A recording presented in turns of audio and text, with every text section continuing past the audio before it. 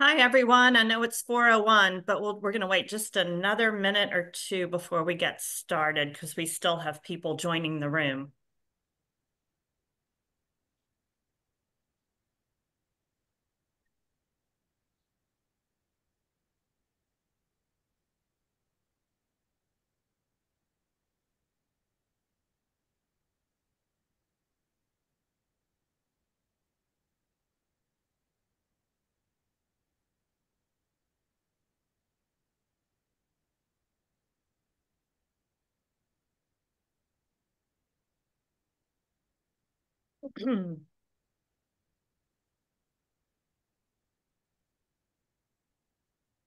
All right. Well, I think we should go ahead and get started, even though uh, we'll probably still have a few people joining. I see lots of familiar faces out there, which is so great. Thank y'all. Um, for those of you I don't know um, who, or who don't know me, my name is Beth Spellman, and I am ACA's Executive Director and have been now for about five and a half years. Um, we really appreciate all of you taking time, uh, the time to spend part of your Sunday afternoon with us, um, especially at such a busy time of year. And I don't know about where you are, but it's a beautiful day here in Richmond, Virginia. So thank you again for being here. Um, as you'll see from our presentations, we've had a really busy year with lots of amazing accomplishments. I always say our staff is small but mighty.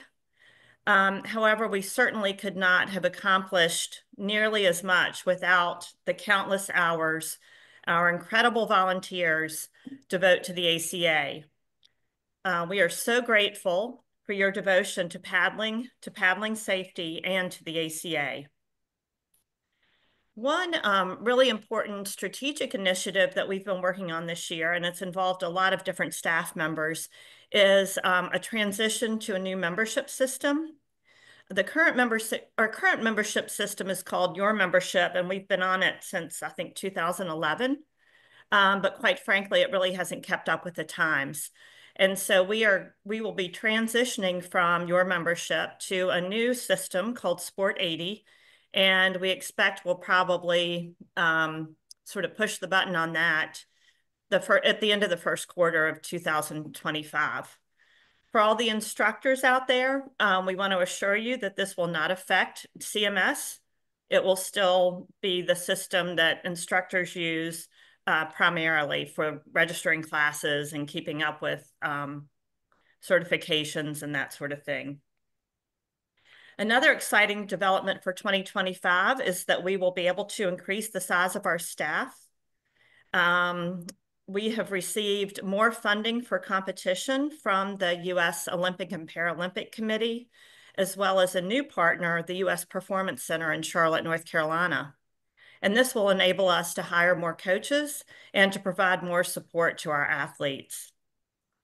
Um, also, due to, I'll call it strong fiscal management over the past few years, we will also be able to hire a chief operating officer, which will enable us to um, leverage all of our talents, uh, I think, even more. Other priorities for 2025 include growing membership revenue and better defining the roles and responsibilities of our three councils versus our staff. Um, so uh, we've all we've got all of you on mute um, today, um, and we have also disabled the chat. Um, and that is just so we can stay focused on our presentation as we go through the slides. We're going to move quickly. And if you do have questions, we will open the chat up later in the presentation where you can submit a question by chat. And then if we have time at the end, we'll take as many questions as we can. Um, we're also um, happy to answer any questions that you might have after the presentation. So, um, you know, just be sure to let us know if you have any questions um, at the end. So without further ado, I will turn the floor over to my colleague, Michelle Flynn, ACA's membership coordinator. Michelle's been with the ACA for about six and a half years, and you might recognize her voice because she is the person who answers the phone when you call the office in Fredericksburg. Again, this is our agenda. We have quite a few staff members who will be presenting today. So again, thank you all very much for being here. Michelle? Good afternoon. The ACA has approximately 15,000 members who come from about 54 different countries from around the world. Our members span a broad age range. You can see our in our older members, there is an obvious gender gap. In the millennials, the gap is a little smaller. But the great news is that among our younger members, we are really seeing that gender gap get smaller and smaller it looks like more and more women are getting out into the paddling world and joining the ACA. The ACA's, as the ACA's membership coordinator, I have had the privilege of talking with our clubs, our members, students, and event attendees from all over. And I love hearing stories and learning about the impact that paddling has on all of the people. I'd like to take a moment and share a couple of stories that go along with these numbers. Currently, we have 446 lifetime members. To become a lifetime member, somebody must have been an ACA member for 50 years or more. This year, nine individual members joined that lifetime group. If you're if you think about it, combining those membership years of all those paddlers, you're looking at about 25,000 years of ACA membership. Next slide, please. Speaking of years of paddlers, did you know that the ACA was formed August the 3rd, 1880 on the shores of Lake George in upstate New York? There is a large bronze arrowhead-shaped plaque hanging on the shore of Lake George, which is inscribed with the names of the 15 charter members of the ACA. In the past, the plaque fell into the water and it was lost for some time. But in 1963, it was recovered and affixed to the rock where it sits today. We're looking forward to celebrating the ACA's 145th birthday next year. Next, you're going to hear from our communications coordinator, Casey Moss, about the different ways the ACA reaches out into the paddling public.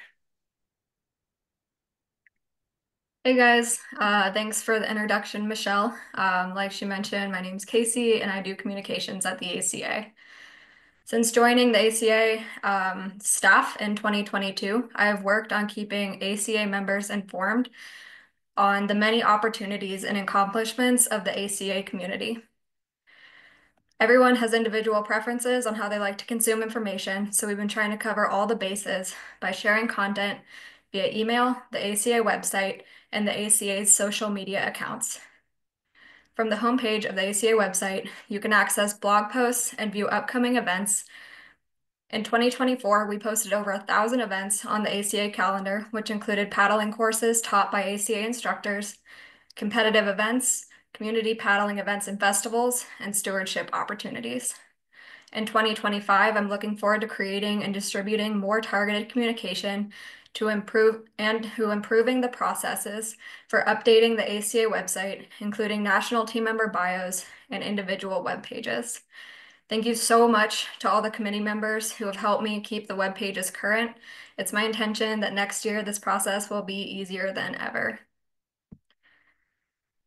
This year, we shared a lot of content on social media. This included Instructor of the Month features, national and international competition highlights for USA national teams, upcoming community events, and more.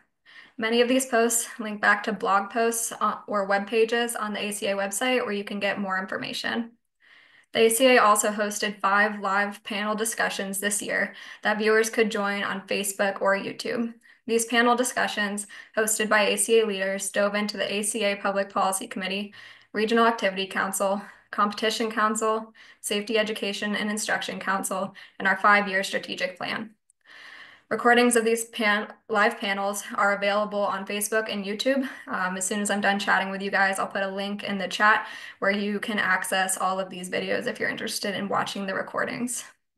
The best way to stay up to date on ACA news is to follow us on social media and to subscribe to our monthly membership newsletter. Please feel free to reach out to me with any questions and feedback. Um, but next, you guys are going to hear from Kelsey Bracewell, who's going to dive into updates from the Safety Education and Instruction Department and the ACA's various grants and community building initiatives from the past year. Thanks so much, Casey. I really do appreciate it. Um, safety education and instruction are some of the most active facets of the ACA, and, and 2024 was a very dynamic year. Uh, with thousands of instructors and trainers from among our 12 instructional disciplines that held courses and workshops and events, which brought that joy of paddling to hundreds of thousands of people. And we're also extremely proud to welcome the new instructors, trainers, and leaders who joined our community this year. Um, ACA saw notable growth in some of our educational disciplines and programs, um, particularly in kayak fishing, pack rafting, raft guiding, and multidiscipline community leadership. Um, SCIC executive committee members Anna Levesque and Trey Rouse were instrumental in the strategic leadership of the SCIC, its discipline committees, nationwide events, volunteer working groups, and the growth of new curriculum, which will help those 22 million paddlers in the US be safe and have more fun and make more memories with their families and their loved ones. In 2025, SCIC will continue to invest in their ongoing project called Leadership Pathways, uh, which is a excuse me, comprehensive curriculum that parallels the structure of ACA's instructor certification program and puts great focus on the facets of the paddling market, which include tour guides, trip leaders, expedition leaders, and things like that. Um, in addition, SCIC will also be focusing energy on resources, communication, and connectivity between our instructors and trainers and providing many opportunities to learn from one another and ultimately increase the marketability and quality of all instructor, excuse me, all ACA instructor and leader-led programming. Can I have the next slide, please? Thank you. Um, we are fortunate here at ACA to receive different forms of grant funding to carry out special programs and outreach throughout the year. Um, three of our notable 2024 grant programs were conducted in partnership uh, with the U.S. Coast Guard, LL Bean, and the Legacy Left by ACA member and trainer Marge Klein. Uh, to begin, the ACA received two separate grants from the U.S. Coast Guard. The first one of them um, is an online education project, which it builds upon the free online paddling safety course that we created about two years ago. This year, we added three new modules, um, which are available online, 100% free in both English and Spanish. And that includes paddlecraft angling safety, nautical rules of the road, and rescue techniques. And as of this past Thursday, a couple days ago, we had 14,934 people complete that online paddling safety course and one of those three new modules. Um, the one other Coast Guard supported project we conducted this year was called Geofencing Phase 3, um, and the second of three years of funding concluded just last month. This project produced and promoted boating safety messaging, primarily focused on life jacket wear um, at five key locations across the country. And between these two Coast Guard funded projects, they created the single largest marketing effort and subsequent reach that we have ever had. Um, as you can see in this table here, the geofence marketing campaign ran, it began um, in National Safe Boating Week, mid-May, right, to September the 2nd, and it generated 10.9 million impressions and a total reach of 6.1 million people via Facebook, Instagram, YouTube, and TikTok. The online course um, promotional campaign was heavily focused on YouTube um, and was delivered primarily through sponsored videos. And those videos generated over 2 million impressions and almost 1 million full views. In 2025, we will continue to submit several new grant applications to support the expansion of SCIC's mission, as well as continue with the third year of this geofencing grant to increase not only ACA's brand awareness, but that overarching safety messaging um, within the overarching recreational boating community. Right now, I'd like to shift gears for a moment to grassroots grants. Um, in case you didn't know, from about 2002 until 2020, the ACA partnered with LL Bean to support the Club Fostered Stewardship Program, which over those 18 years provided $175,000 in support of ACA's clubs and volunteer groups who engaged in waterway cleanups and access initiatives. In 2021, LL Bean refocused their charitable giving priorities and then joined ACA to begin the Club Fostered Community Program, which is now used to amplify diversity and inclusion efforts of existing groups and projects through education, stewardship, competition, recreation, and waterway exploration events. So since the start of the CFC program three years ago, we've provided $70,000 to ACA clubs and affiliates who have illustrated commitment to building inclusive paddling opportunities and events in their own community. This year, we funded nine different projects. Um, through Canyon River Instruction, the Community Boating Center, Georgia Canoe Association, Ohana Wailaluma, Pride Day on the River, Tampa Bay Kayak Angler- Anglers, Team River Runner National, Team River Runners Miami chapter, and Wild Science Explorer. If we're granted funds from LL Bean in 2025, we'll continue this program, and we really just can't wait to see the impact that's generated by these dedicated clubs and affiliates. And so, last but certainly not least, I'd like to tell you a little bit about Marge Klein. Um, she's an ACA instructor, trainer, educator in both canoe and kayak, who was named one of the 100 paddlers of the 20th century, backed by Paddler magazine. And Marge, she left behind a legacy of love for supporting youth paddle sports participation in the Midwest states of Illinois, Indiana, Michigan, and Wisconsin. The 2024 recipients of the Marge Klein Memorial Grant are Eric Plath and the Camp Amnicon Foundation. Eric received funds for his Eagle Scout project to create a brand new public, public paddling access site at the east branch of the Little Calumet River in Indiana Dunes National Park. And Camp Amnicon Foundation received some funds to facilitate wilderness canoeing trips with youth in northern Wisconsin. Can I have my next slide, please? Thank you so much. So um, when we talk about community building, like take a second um, to think about your community and what that means to you. And I take a moment to think about the ACA strategic plan and I reflect on the ACA's past and its present. Me having been here a member, gosh, for 20 something years now, gosh. Um, and I, I recognize that each corner of our membership overlaps and interacts today, you know, to strengthen the fabric of ACA's mission. And while only a sampling of the thousands of courses and events that have been hosted in 2024, I want to highlight a couple of events that showed phenomenal planning and collaboration and hard work that exemplifies our commitment to community. May I have my next slide, please? Thank you so very much. Um, I wanted to give a huge shout out to the Regional Activity Council and their activities over National Safe Boating Week. On May the 18th, this uh, this past spring, and what may have been the largest ACA facilitated safety training event in our history, the RAC rallied the paddle sports community across seven different states to train 471 people in one single day. Um, instructors, volunteers, uniformed water safety personnel, and organizational partners came together to make this make this event a success in Tennessee, Georgia, North Carolina, South Carolina, Florida, Missouri, and Texas. Next slide, please. Thank you. Our summer solstice celebration. Um, this, Casey did an amazing job, by the way, facilitating this to celebrate the longest day of the year. Um, our members, instructors, athletes, and clubs assembled over um, that mid-June week to organize over 50 public paddling events in 23 states and in four different countries. May I have my next slide, please? Thank you so very much. Um, the level one and two regional instructor updates hosted dozens of instructors across the country that came together in New York, Texas, and California to try new things, learn from one another, and continue to strengthen and use their ACA certification to educate and engage with the public. And so when they were asked, how did this experience compare to your expectations? I want to let you know what a couple people said. They said, I found the multiple craft cross training to be a unique educational experience. I was never on a stand up paddleboard before today, but was coached by my own fellow instructors to a successful standing position. The value of that activity was that everyone had something to teach and something to learn.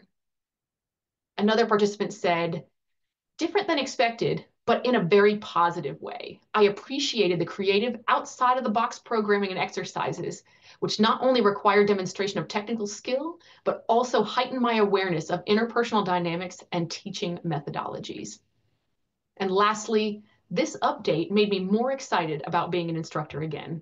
I'm looking forward to working with the new members in my club, and I cannot wait to use the new tools that I've learned.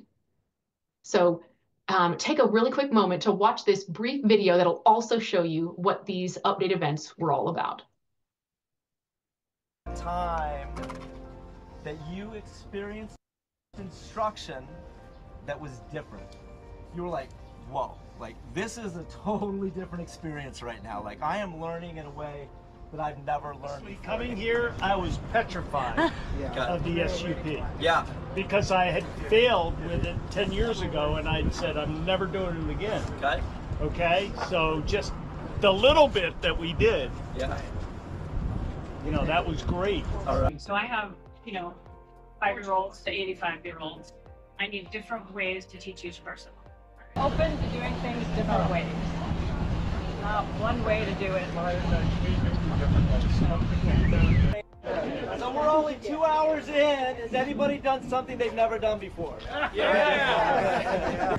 having gone through it, I love that it wasn't a we are going to do this and here are the directions. It was literally like here's a list of things, like go through it real quick, now go do it, and then come back and tell us like what you learned and what you pulled out of it and what you felt. And I think that's amazing. I think as a student and as an instructor, I got much more out of it than I probably would have gotten if you just said to me, this is what we're doing. Thanks, Casey. Go to the next one.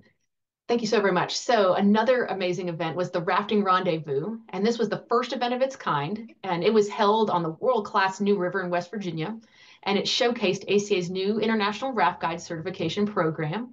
And the event included catered meals and on-site camping, transportation to and from the river, and a fun after party. And all of that provided the perfect venue for networking, the building of friendships and collaboration, you know, within and between the rafting industry, search and rescue professionals, independent paddlers and guides, and whitewater enthusiasts in general. So next time you're going to want to join in on the rafting rendezvous because it was an amazing time. Next slide, if you will. Um, the LEAD program, Leadership Exploration and Development Initiative, was launched in 2022. Um, and it's a four day immersive experience that includes comprehensive coursework and ongoing mentorship, um, ensure, ensuring that the participants are fully equipped to achieve their goals and bring representation to the paddling world. And it was created as an opportunity for individuals to enhance their leadership skills on the water, build community, but simultaneously create a ripple effect of increasing paddle sports accessibility and participation in their own home communities. In 2024, ACA was able to facilitate the sixth and seventh program um, in partnership with some really amazing people and organizations. Venture Outdoors, located in Pittsburgh, Pennsylvania, and the Texas Rowing Center in Austin, Texas, alongside Black Women Who, a group whose mission is to empower Black and Brown women to overcome barriers, build confidence, and discover their potential through outdoor activities. And we're excited to let you know that ACA will continue to support and facilitate this programming in 2025. So next up, it really is my pleasure to welcome ACA's competition director, Jed Hinckley.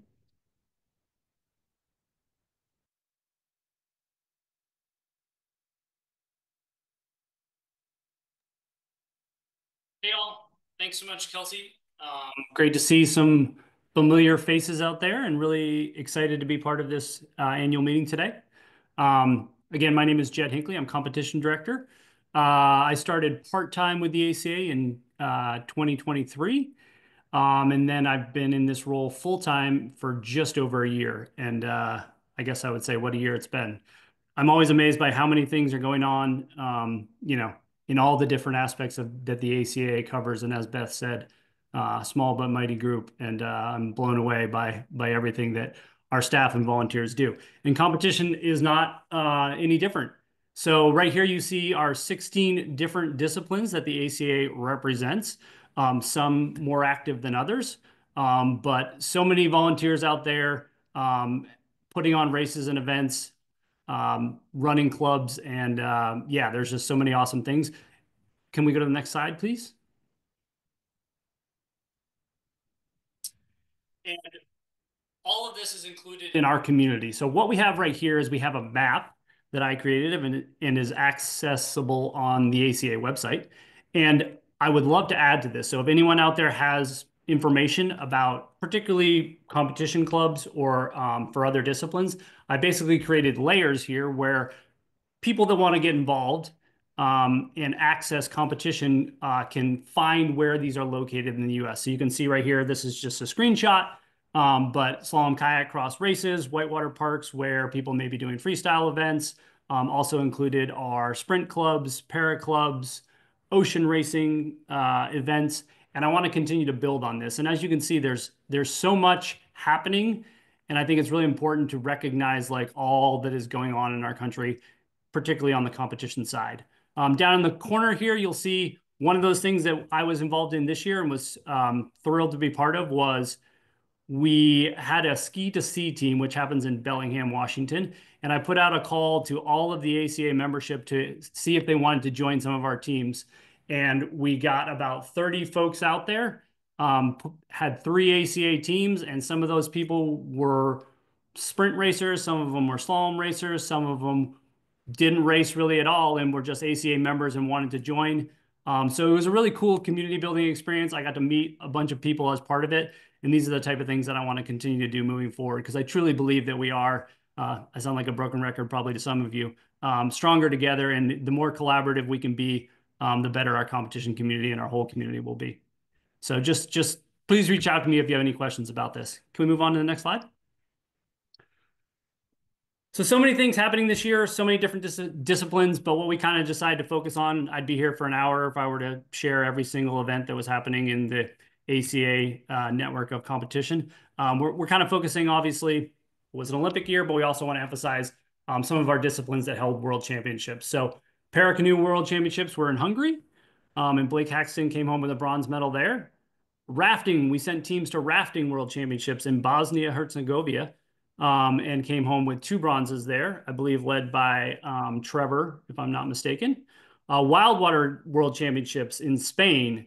Um, and it was really cool. I was talking to Bob Bofinger, and he he and uh, was really excited that we 11 athletes went, and for the first time since 1998, we had a, a men's C2 team event um, entered in the event. So, um, yeah, lots of participation at the World Championships in these three disciplines. Can we move on to the next slide? Um, we also, it, obviously, it was an Olympic year. So for many of our sprint athletes, that was the focus. But we did send two athletes to Sprint World Championships in Uzbekistan. Um, only one athlete attended Marathon World Championships in Croatia, but Andrew, Andrew Searles represented us there and came in a strong 16th place. Um, and then the Ocean Racing World Championships were held in Portugal. And uh, Anna Swedish was able to take home the bronze in the Women's Open. And I think um, one thing I also want to focus on is just that um, so many of these competition disciplines have reinvigorated uh, competition committees. And I think ocean racing is one that they've done a ton in the last year with a with a national um, series, a national points system, and uh, next year they're looking forward to hopefully doing maybe a national championship. Um, so just lots of good stuff happening. Uh, following up on that, we did send a team to the Polo World Championships. Uh, I was talking to uh, Mark Poindexter the other day, and he said, unfortunately, they didn't get to compete in their last event because everyone got sick from the water, um, but they still all had a lot of fun and came in uh, 20th place. Uh, Dragon Boat World Championships also was this fall. Um, they formed their teams about two weeks before the event happened um, for a variety of reasons. They have a newly formed competition committee. Um, and so they kind of had to put some teams together last minute um, but still had some super strong showings, particularly in the 40 plus. Um, and Leslie said that most of the athletes in the 40 plus were actually over 50 with a few exceptions. So um, for a last minute putting together of teams, I would say they're pretty awesome results there. And then just happening this weekend um, was SUP World Championships in Sarasota, Florida. Um, and I was just checking results and it looks like in the uh, sprint open women, Catrice Parith won and Seychelles, who I think was the defending world champion, came in second. So American women first and second place in the in the uh, sprint open women, and then in the master 50 plus men, Packet Casey was in third. So three medals um, from uh, SUP World Championships in Sarasota. Can we move on to the next slide? Okay, so now we're going to kind of transition. Obviously, a lot of my time uh, work with a lot of disciplines, but mainly work with uh, with uh, with the Olympic and Paralympic disciplines. And something that we were definitely excited about. Beth already spoke about it earlier. Is some of the partnerships that we've been able to bring into our competition side. And one of those that we're hoping that we can move forward with um, in the future as well was DSG, which is Dick's Sporting Goods. Um, their their in-house label um, was actually our national Olympic uh, supplier for apparel. So they were really excited to be part uh, of the ACA, and we're hoping that we can keep that relationship moving forward. Also, the U.S. Performance Center, our sprint kayak athletes literally just got on the airplane yesterday to come back from testing they've been doing there. Um, our canoe athletes have been there, uh, sprint canoe, and our, we have a number of slalom athletes that are um, in residency program down in Charlotte there. So a couple of partnerships that I wanted to highlight, and we're hoping to get more as we move forward. Okay, so Olympics. I don't know if you guys knew those happened this year, but they did. Um, and just wanted to highlight our athletes that made the Olympic team. Our veteran on the team was Casey Eichfeld. Uh, Charlotte, North Carolina is where he currently resides, originally from Pennsylvania. Um, and this was his fourth Olympic Games. So he uh, definitely has been able to stay at the top for a long time, which was awesome, narrowly edging out Bug Larkin for that spot. Um, had a tough uh, race in the semifinals with a 50, but still a very respectable 16th place finish.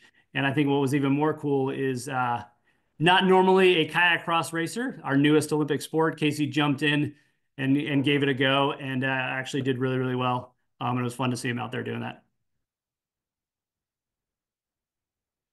Okay, um, sure, some of you may have seen, uh, but for the first time in 20 years, we took home a medal in slalom.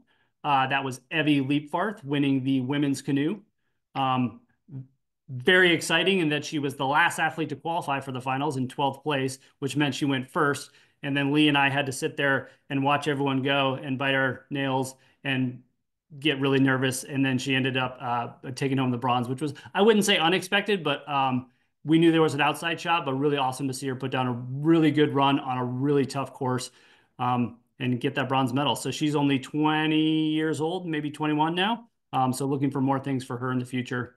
Um, and she does compete in all three slalom events. So lots of other good results, but for the sake of time, we'll move on to the next athlete.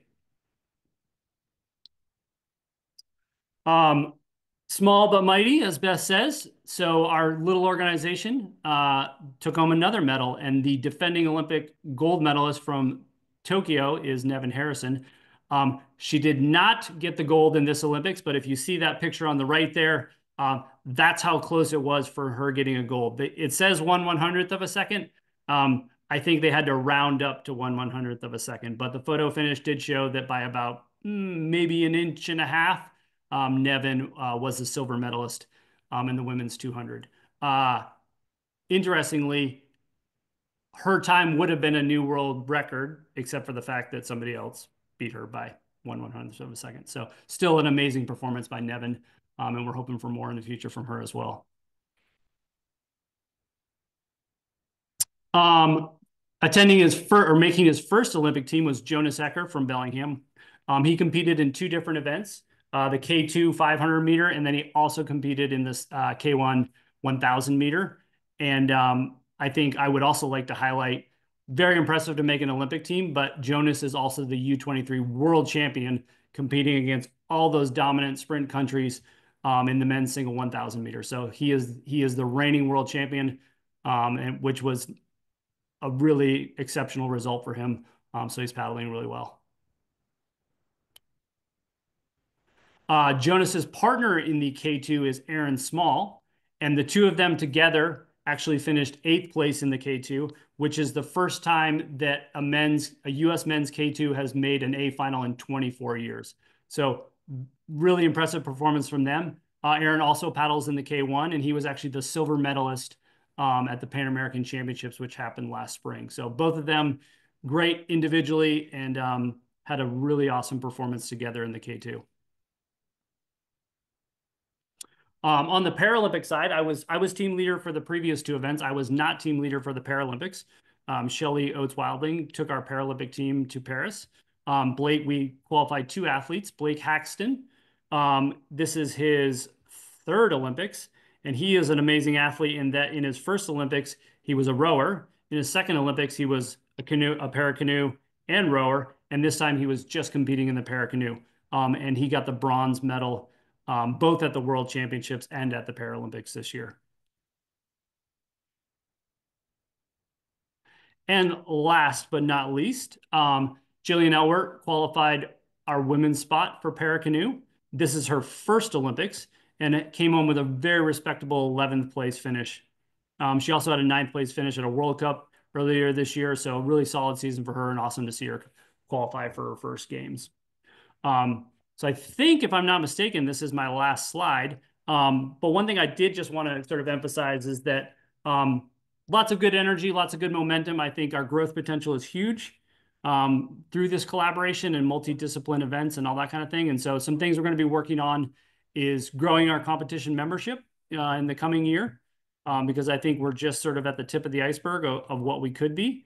Um, the competition council has been really integral in bringing all the different disciplines together, and we're actually working on some coaches education resources that we can share with our community. So that's going to be a big emphasis for the coming year. And then we want to bring home some medals at, at World Championships so that next year we're on this call, I can report on more good news. So looking for medals in sprint, para, and slalom um, in the coming year. Now I'm going to hand it off to Brett Mayer to talk about some of the things that happened in public policy this year. Awesome. Thanks so much, Jed. Really appreciate it. And congrats on such a great year. It's really cool to see the recap of, of all that good work. Really awesome. Um, thanks to Beth, thanks to our staff, thanks to our board, all the instructors, all the members out there. This is a great organization to be a part of. And every year we get to this meeting, and I'm just super stoked um, to continue to kind of carry the mantle on the public policy front. Um, it was a great year. 2024 was super exciting.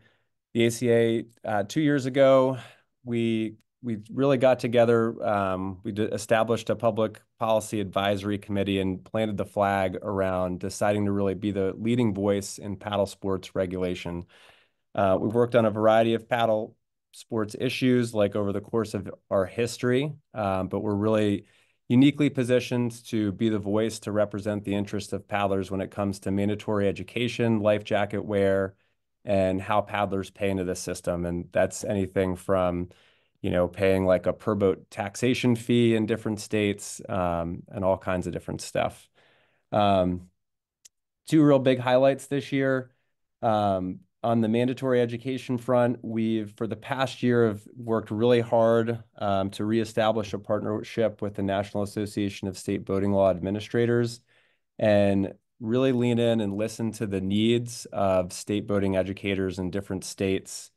And we decided that we, among the already incredible suite of educational resources that we have as an organization, um, that we needed to develop something new uh, to best support kind of uh, the recre- the exploding numbers that we see in the recreational uh, recreational paddling community, um, and some of the associated incidents, um, whether they be kind of user conflict or um, accident and injury among folks that are, are new to the sport. And so we have developed, uh, you can see the picture there, the Smart, Smart Start for paddling. Smart Start was something that we had. Um, it's kind of a resurrection from some resources that we had in our history, our educational history. Um, and we've just been really working hard to put together a resource that could be used by really anybody um, to introduce paddle sports um, safely that is really research informed um, in terms of some of the some of the numbers that that we see out there to address some of those needs. So um, hopefully this this spring um, that course will be will be out there for the public to see. So that's super exciting. Um, and I know that sort of sounds more education focused, but it's really the intersection of policy and ed um, where we really we believe in education before regulation as an organization. That's really our perspective. So we really feel like if we can put out a better resource that's easier to easier to use um, for for anybody out there, that those can help address um, you know some of the some of the things we're seeing in the community.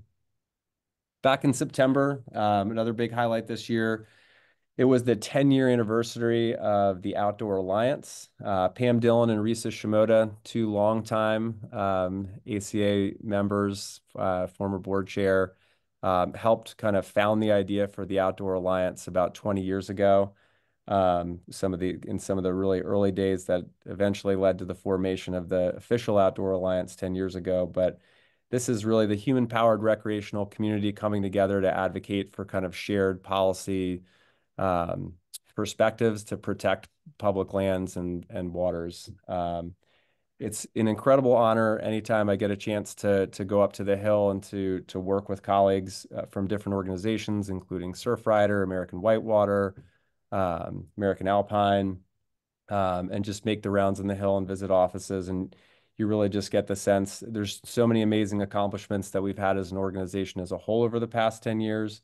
Um, and while we were, you know, reflecting and celebrating some of those huge wins, it was really also a chance to go and push uh, some legislation that's, um, you know, at the gates of being passed right now, the Explore Act, um, which is a package of outdoor recreation policy. Uh, the Expanding Public Lands Outdoor Recreation Experiences Act is what it stands for. But that bill takes important steps to expand and improve outdoor rec opportunities um, for for all types of recreation. So things like biking on long distance trails, um, Protecting America's Rock Climbing Act to safeguard wilderness climbing, and then really relevant to the paddling community, the Simplifying Outdoor Access for Recreation Act. It's called SOAR.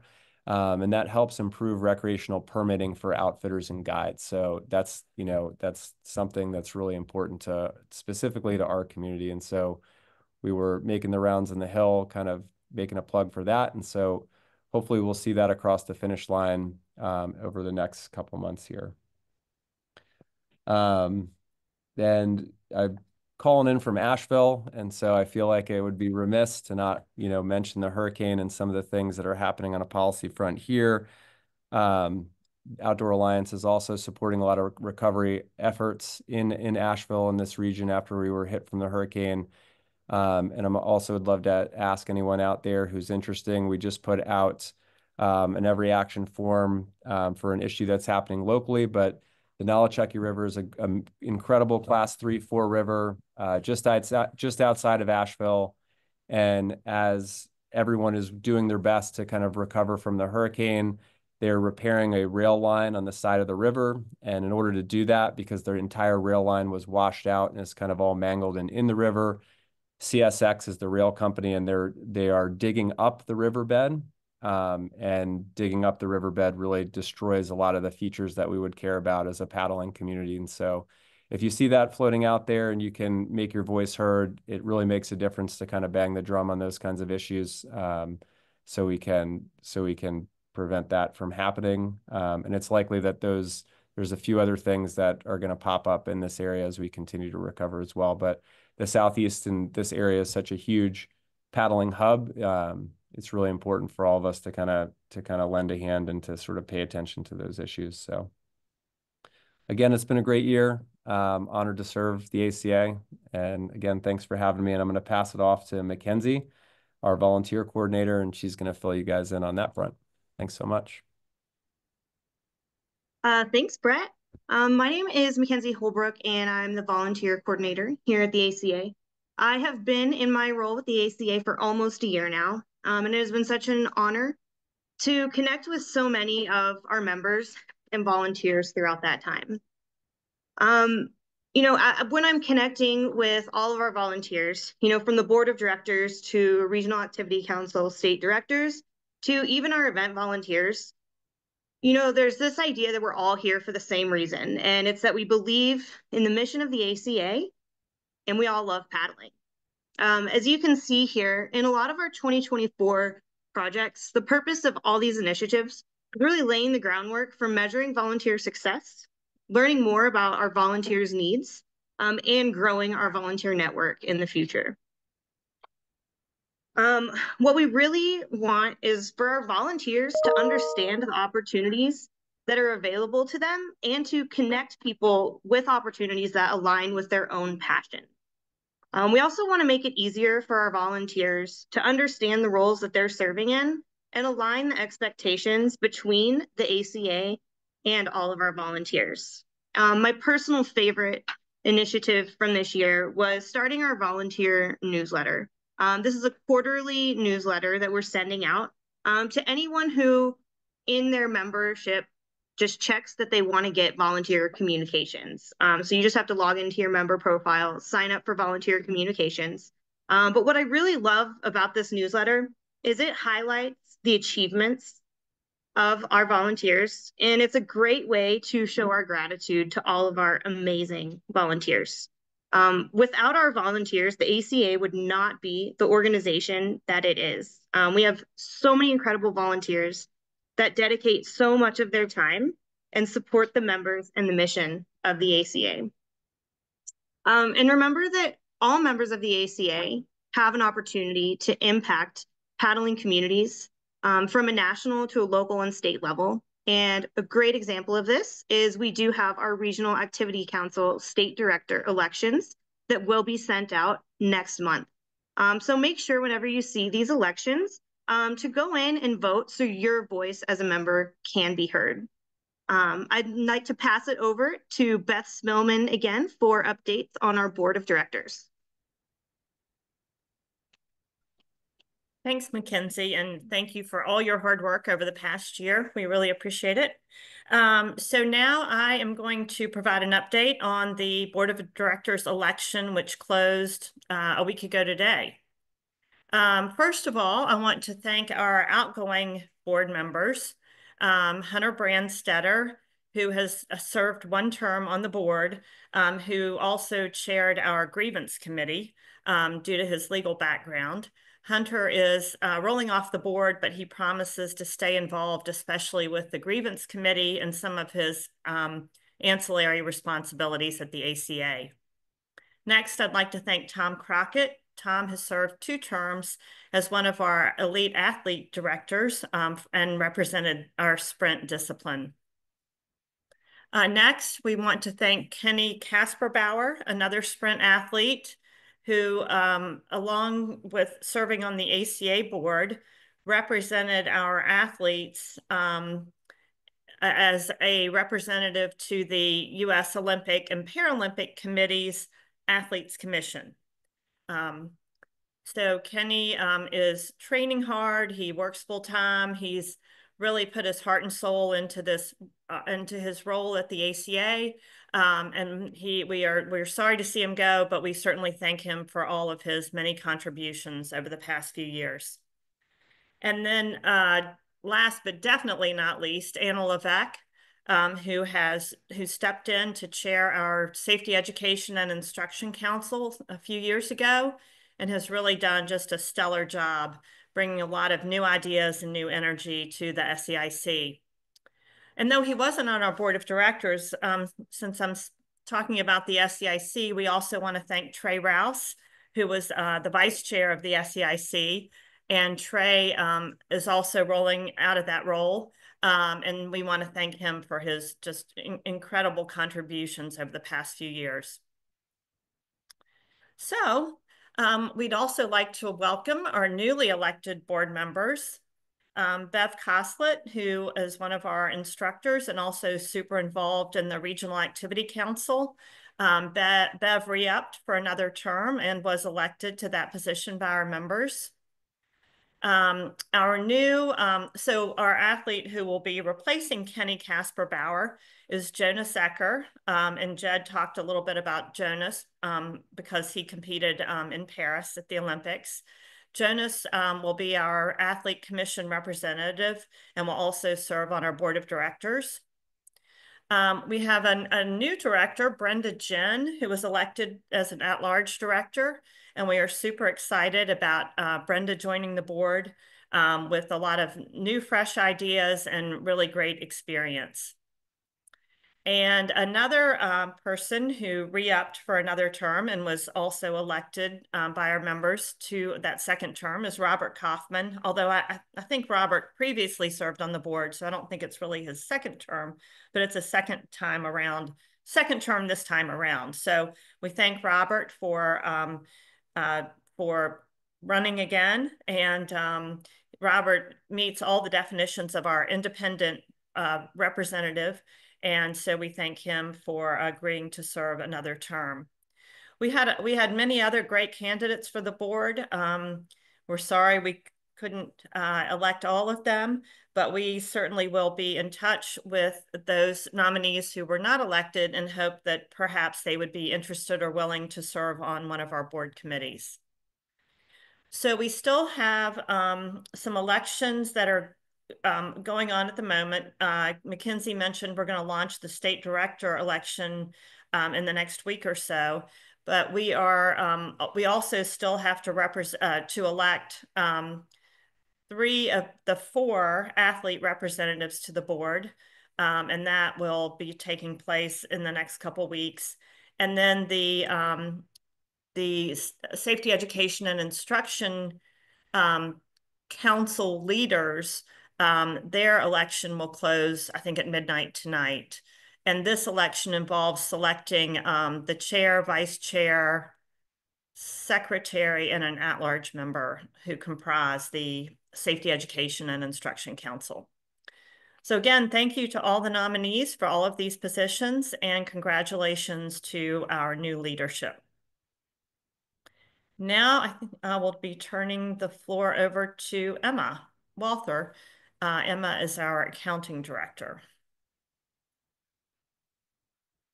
Thank you, Beth. I just want to give you a little glimpse of our numbers and um, that way you can see where we're working from, just our revenue and our expenses. Casey, if you want to give me the next slide, please. This is also showing growth in our, our net assets over the last year.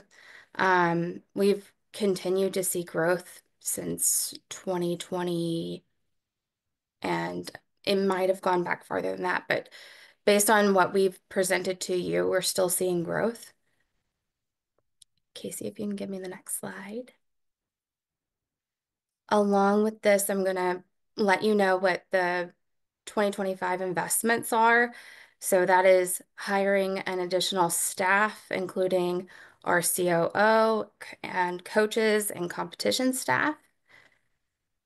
We're going to roll out the SEIC's Leadership Pathways Project, organize two or three leadership exploration and development or lead events, launch robust sprint and slalom grassroots development efforts, support RAC initiatives, including the instructor contest, Every Action software, and Club Express.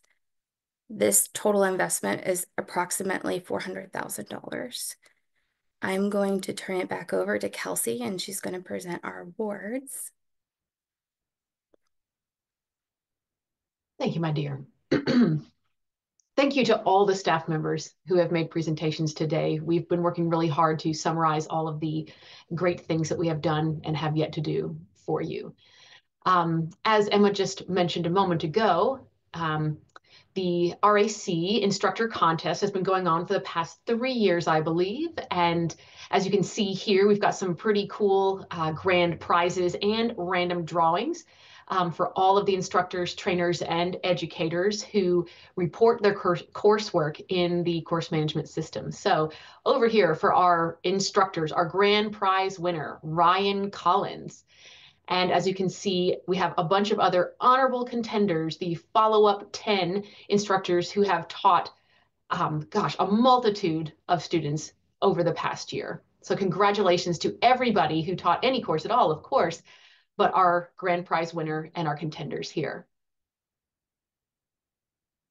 Casey, oh, thank you so very much. Here we have our instructor trainers and educators, our grand prize winner, Mr. Jeff Atkins, and our Paddle America Club's grand prize winner, the Philadelphia Canoe Club.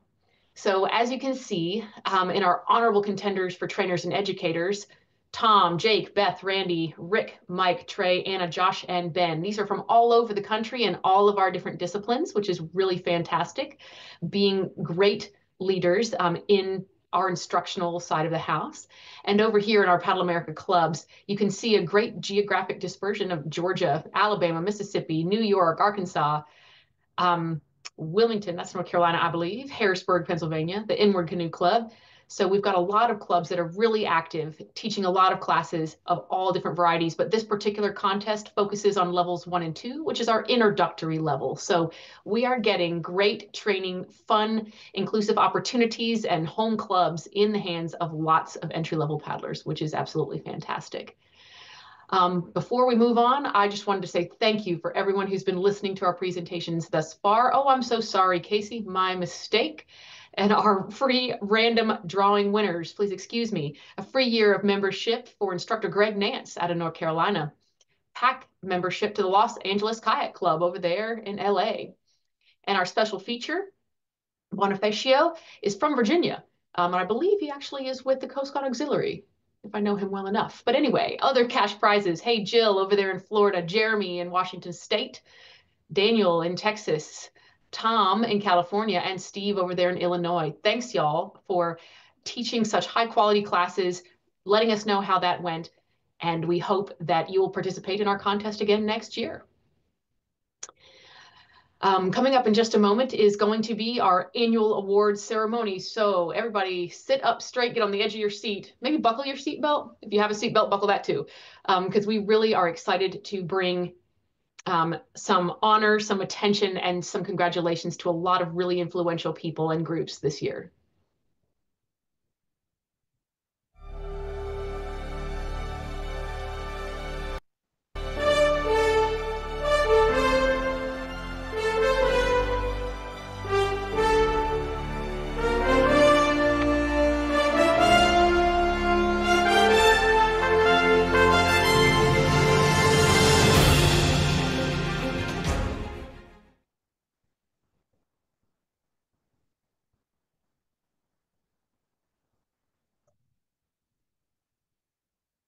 All right, everybody, thank you for enduring the fanfare.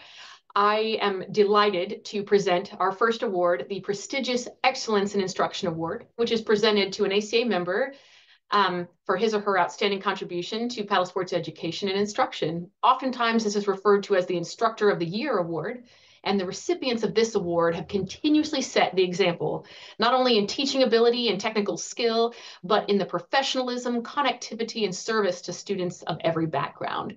And it is my honor to present the 2024 Excellence in Instructor Award to Rob Carmichael. Rob is the director of outdoor experiential education at UWC Thailand International School in Phuket, Thailand. And in this role, he has pioneered a, a, dynamic outdoor education program and established an outdoor education center, which integrates paddle sports into the experiential learning model delivered across the entire school and the community. The programs that he oversees allow students to forge meaningful connections with the outdoors through consistent and regular structured engagement from early years all the way to senior students. And as an ACA coastal kayak instructor trainer, Rob leads procedural implementation of many interwoven programs, empowering both UWC staff and st senior students to become skilled, safety conscious leaders. Rob has shown a great commitment to empowering, empowering paddlers with a range of disabilities, both physical and sensory. By sharing his experience and advocating for inclusivity, Rob not only inspires those around him, but also emphasizes the importance of accessible outdoor education for everyone. With an unwavering commitment to safety, environmental stewardship, and lifelong learning, Rob exemplifies the values celebrated by our education, excuse me, Excellence in Instruction Award. So everybody, please join me in congratulating the Excellence in Instruction Award winner for 2024, Rob Carmichael.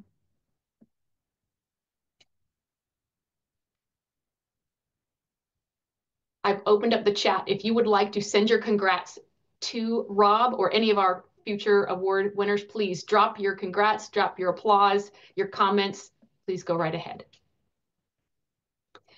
Um, the next award is the Sanctioned Event of the Year, which is presented to the top ACA sanctioned event as nominated by the overarching ACA membership. So you've already learned a little bit about this event earlier today, and it is my pleasure to announce the ACA Rafting Rendezvous as the 2024 Sanctioned Event of the Year.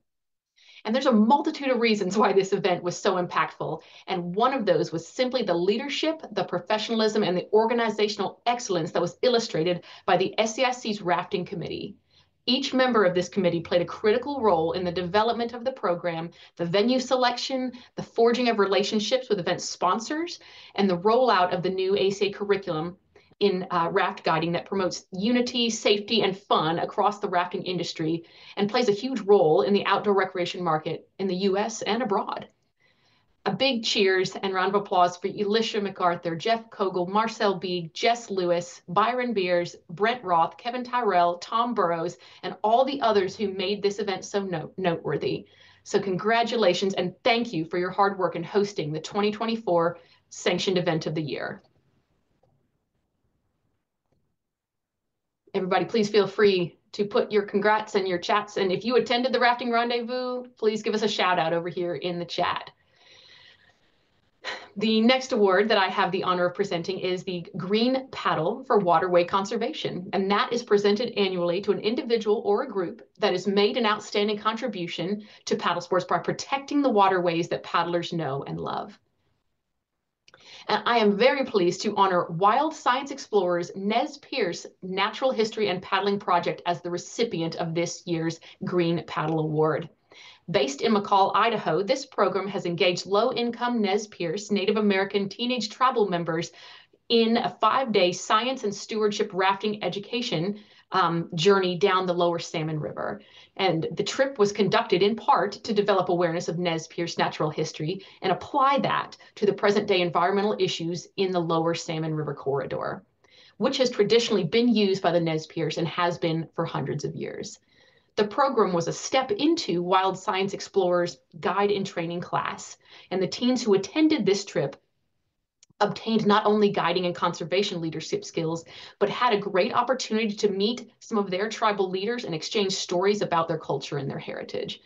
So I want to say thank you to Wild Science Explorers for your commitment to the multiple facets of waterway conservation and, and for providing young paddlers with an avenue to recognize and engage with their history via the lower salmon. And everybody, please join me in congratulating them as the recipient of the 2024 Green Paddle for Waterway Conservation Award.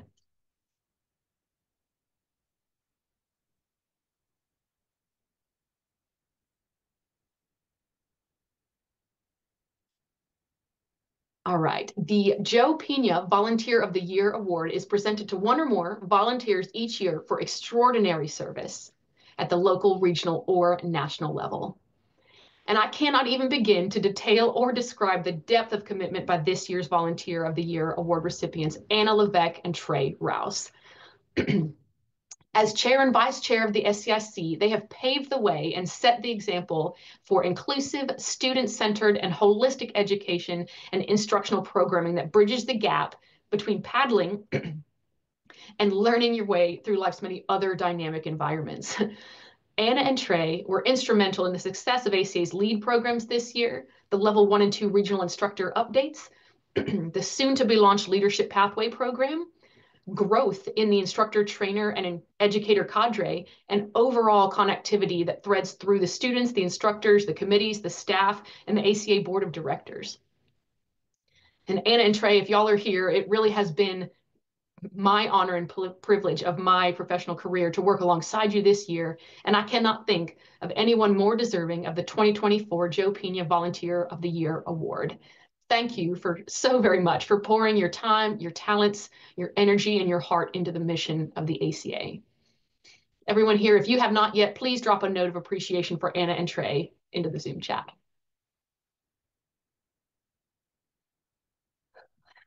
Our next award is the J. Henry Rushton for Organizational Excellence, and it's presented annually to an organization for outstanding achievement in advancing paddle sports and the mission of the ACA.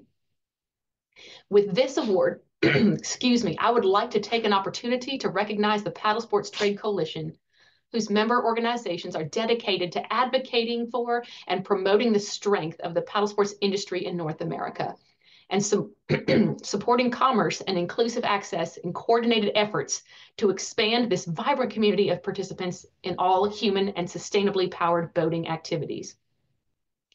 The leaders and members of PTC are collaborative, authentic, and passionate teams of brands, retailers, outfitters, and sales representatives who influence, advocate, and foster growth and development within the paddle sports market segment. Their collab event that was held earlier this year in Oklahoma City was just a small illustration of their success to come and the ACA would like to recognize the excellence in their planning, organization, and teamwork that brought together and inspired different yet complementary corners of our community. Congratulations, PTC. We are so proud of you and cannot wait to see more of how you're bringing the paddling industry together all in one boat.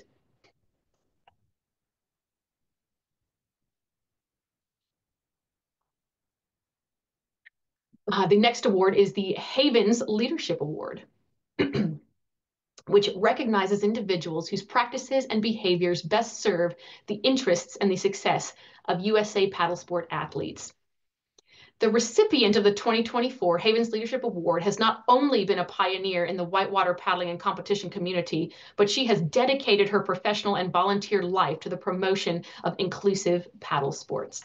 I'm talking about none other than Risa Shimoda, an absolutely unstoppable leader for freestyle and other paddling, excuse me, competitive paddling disciplines as well. But she truly has shown the meaning of investment and leadership as chair of ACA's competition council, who's participated wholeheartedly in on ACA's board of directors, but in countless other initiatives and areas that have made a lasting impression for the success of ACA's role in the competition community. Risa, it is my honor to know you and to serve beside you. Thank you so very much for your leadership of our competition, um, our competition initiatives, competition goals, everything. We couldn't do it without you.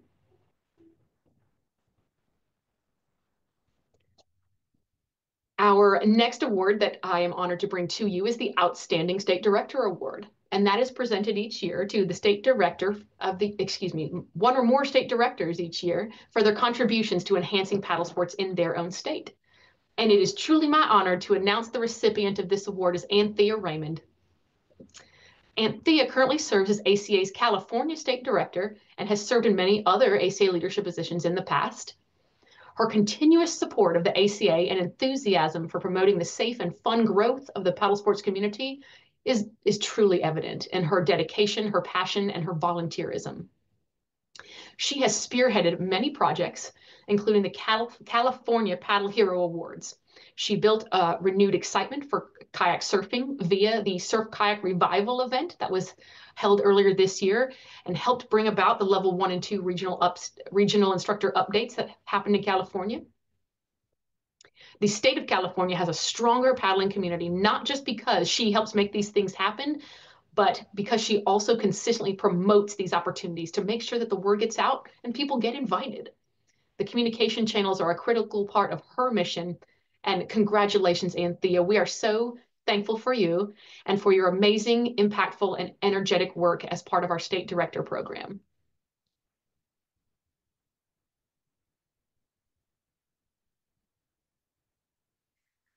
Um, next, in, if is Dave here? Does anyone know? I'm not sure. He is here. Um, the next award is the President's Award Dave, as our president, if you would like to present this, can you raise your digital hand? I'm more than happy to do it, but if you would like to, I would love to give you that opportunity.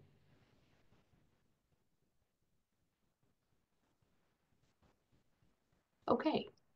Is any, can anybody see Dave?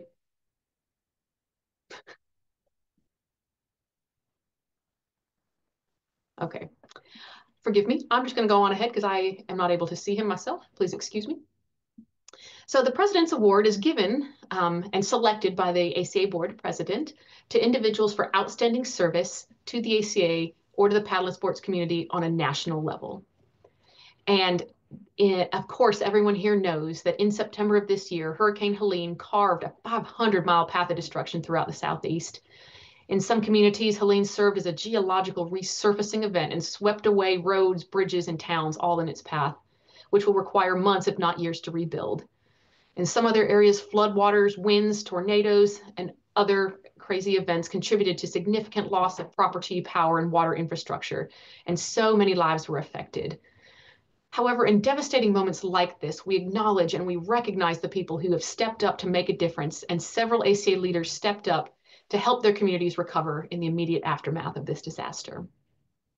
And so this President's Award is intended to recognize all of the members of the community who volunteered, donated, and served in any role to help those affected by the hurricane, whether in a capacity to clean up, rebuild, bring supplies, or serving in rescue and recovery roles.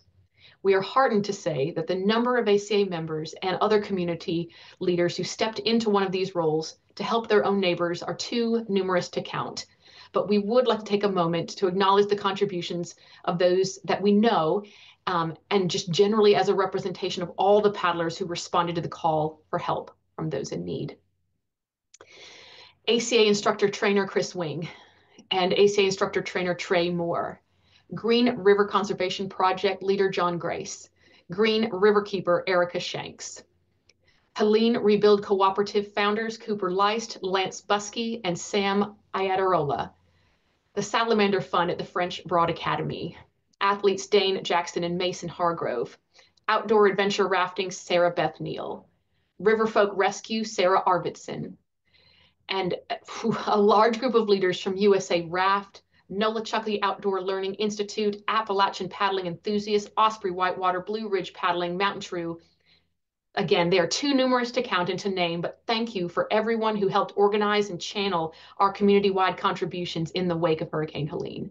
And we know that there is still much work to be done, and we thank you in advance for everything you have and you will do to rebuild a community so filled with passionate paddlers.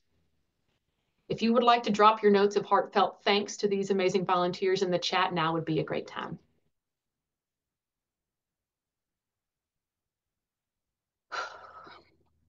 All right, and this is my last award of the evening, everybody. So thank you if you've stuck around this long um, for being in part of this, being part of this call and for honoring all of the people who have done such great things in the paddling world. So everybody, it is my honor to announce the winner of our Legends of Paddling Award Deb Volturno. Her status as a legend is not just made up of her significant accomplishments, but is also formed by her impact in the sea kayaking community as a whole.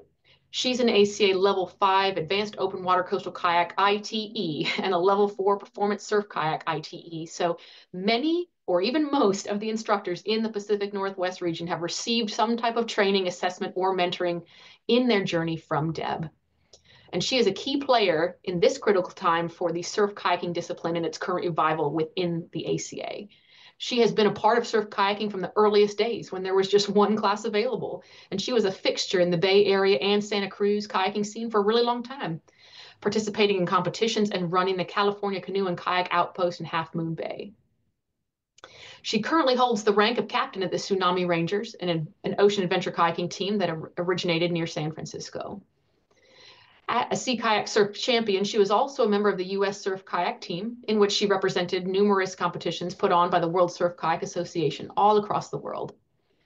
She's a, one of the founding members of the Surf Sirens, an instructional and community building event now expanded through New Zealand, which is focused on introducing more women to kayak surfing from exploring traditional kayaking history through building Inuit and Aleut skin on frame kayaks to paddling extensively all over the world, Alaska, all the way up and down the coast of the US and Canada, Mexico, Italy, New Zealand, Costa Rica, and Brazil. She is not just an accomplished and talented paddler, she is deeply committed to developing and contributing to the paddling community. As evidenced by testimonials from a, a, wide variety of paddlers, Deb has made a tremendous impact on the mountaineers, Sea Kayak community, um, as well as the Olympic Peninsula Paddlers Kayak Club out of Port Angeles, Washington. So she has had an impact in one form or another in the training, certification, and mentoring of sea kayak leaders across different clubs and ACA kayaking courses for many years. And much like her impact in the Northwest, she is a common thread in the influence of technical and teaching skills in the region. But more than that, is that Deb has influenced a collective endeavor to make sea kayaking more accessible, inclusive, and representative.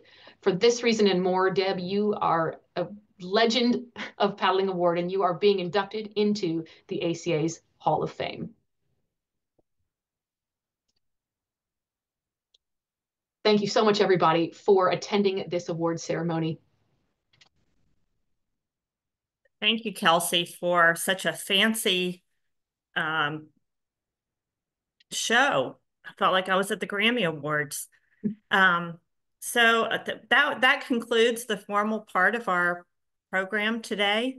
We um, congratulations to all the award winners. Certainly, all are extremely well deserved. It's always so impressive to me um, when we do the awards uh, part of the presentation to hear about the amazing accomplishments of so many of our members. And it's always so difficult to actually select the winners of the awards because, um, you know, all of you do such amazing and great work. Um, so I guess we have a few minutes. If there are any questions, we can take those through the chat. Um, or we can end on a, on a high.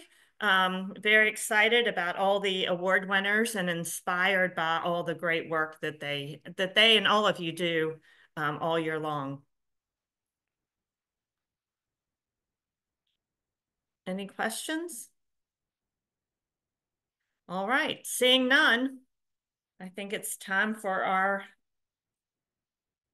uh, who is the alternate to Jonas? Thank you, Deb. That's a very good question. Casey Eichfeld is the alternate to Jonas Ecker um, for the USOPC Athletes Council or Athletes Commission um,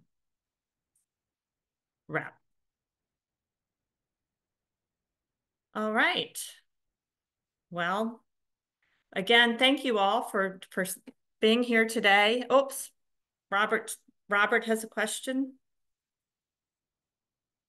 Hmm. Robert, you've got to put it in the chat.